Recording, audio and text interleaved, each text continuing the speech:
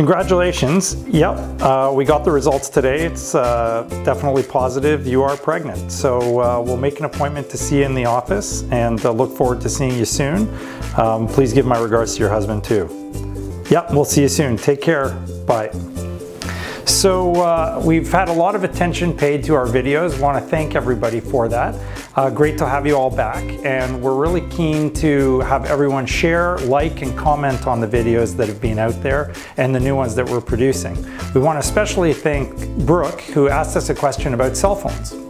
It turns out cell phones can actually have an impact on your fertility. Certainly for the guys, we do know from one study that the cell phone can affect DNA in the sperm and damage the quality of the sperm, including reducing the sperm count. The recommendation is that you keep your phone at least 50 centimeters away from your pelvis.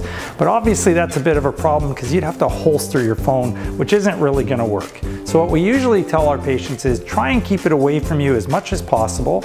And if you can't keep it away from you, maybe put it in a satchel or some kind of bag so that there's at least a little bit of a barrier between you and the phone. So for moms, it's a little bit of a different story. If you're pregnant and you're using your cell phone, the data is equivocal.